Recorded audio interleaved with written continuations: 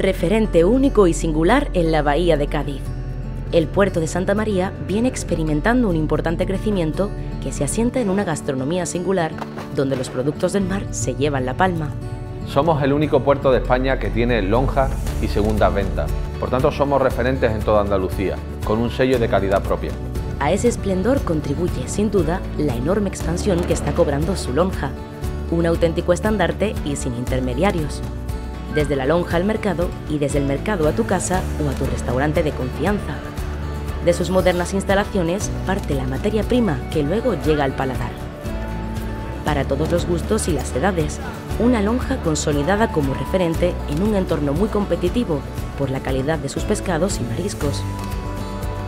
Los números hablan por sí solos y no dejan lugar a dudas.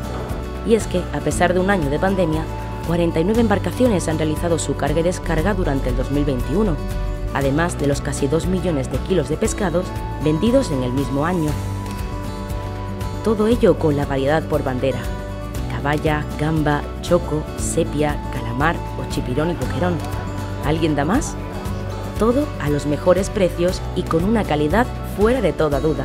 Desde el Ayuntamiento del Puerto, a través de la Concejalía de Pesca, seguiremos apostando por una lonja de máxima calidad, junto a los pescadores y a los vendedores, que entre todos hacemos marca el puerto.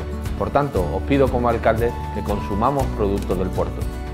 Visitar estos establecimientos es, sin duda, una muy buena opción si quieres disfrutar del mejor sabor del mar con la llegada del buen tiempo.